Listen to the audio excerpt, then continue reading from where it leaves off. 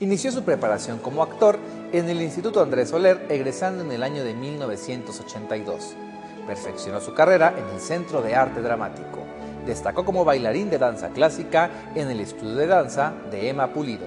A finales de la década de los 90, Juan Osorio le abre las puertas del teledrama casero. Forma parte del mosaico de las telenovelas. Él es Pablo Cheng. Además, ¿qué hace usted aquí? ¿Por qué no se lo dices, Fernanda? Señora, será mejor que se vaya. ¡Usted qué! No me toques. No me toquen, que me das. Y hacer eso mismo ante una cámara de televisión que no te están viendo mil, sino te están viendo millones de personas, sí es un reto bastante difícil y no cada telenovela. Cada que se para uno ante las cámaras es un reto bien, bien difícil, pero es una satisfacción impresionantemente maravillosa. ¡Ay, qué horror! ¡Ay, ay me tiene tan nerviosa esta cita! ¡Ay, que no le dijo Talita de qué se trata! No, Poli, yo soy tan intrigado como tú. Y sabe, a lo mejor va a querer rescindir el contrato, ¿no? ¡Ah, oh, cielos! No me extrañaría. Últimamente esa niña nos ha puesto de cabeza a todos.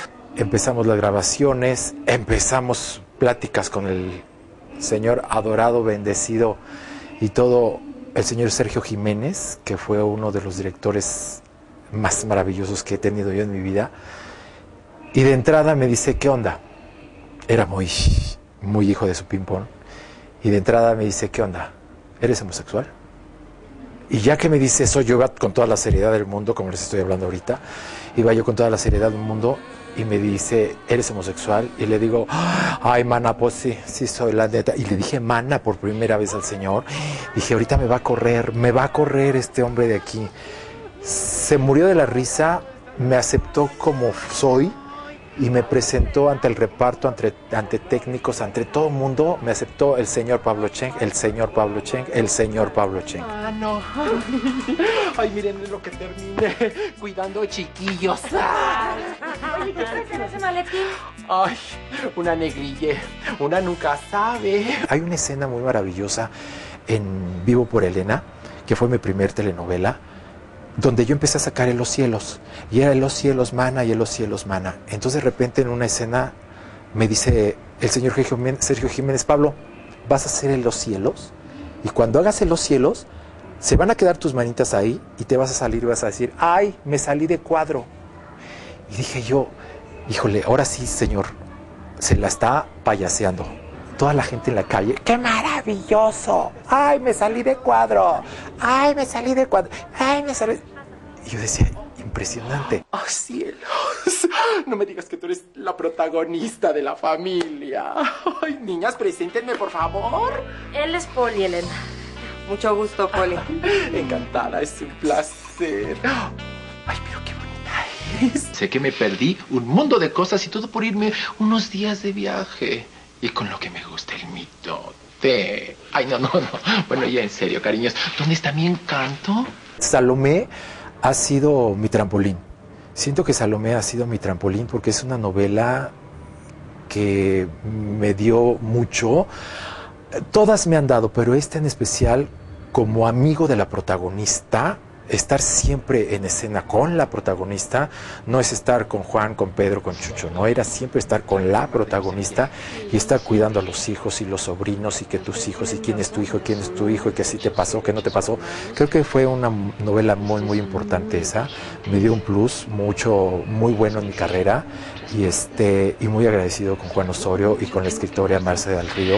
Eso quiere decir que finalmente Sí, que finalmente les tengo que decir la verdad. Velo de novia un, villa- un villano joto, qué horror, no puede ser. Dije, la gente me va a odiar, aparte de joto, asesino y secuestrador y cosas de esas, ¿no?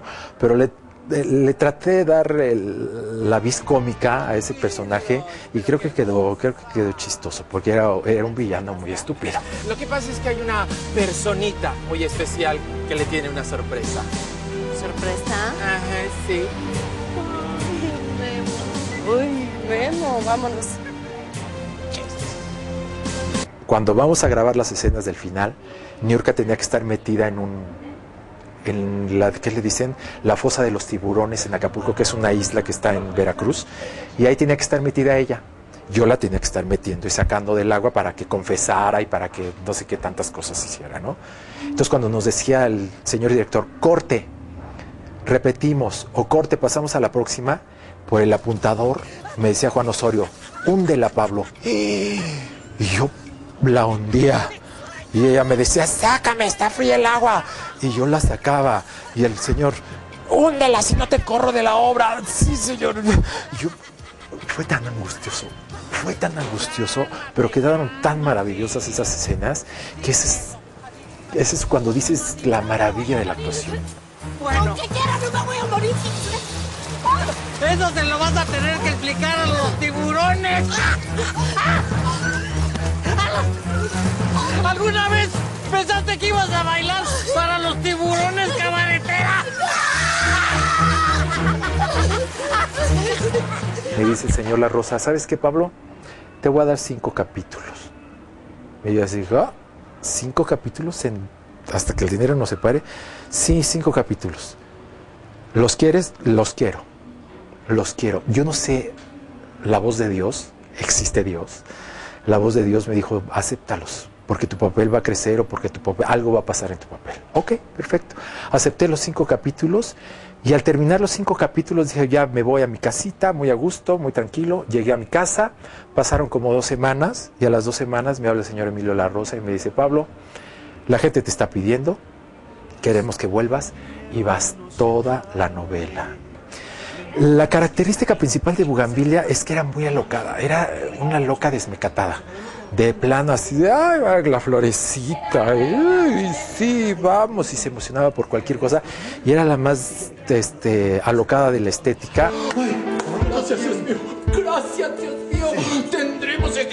Por mucho tiempo. sí, Hay que hacer algo para que nos alargue la condena.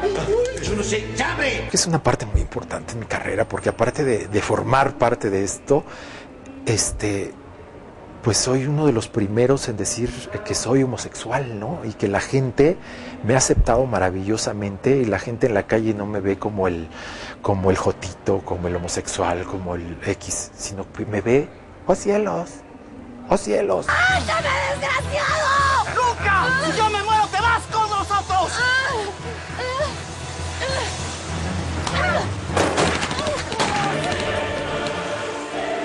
Declarado abiertamente homosexual, Pablo siente que su habilidad de expresarse ante las cámaras siendo quien es le ha dado mayor fortaleza a su trabajo.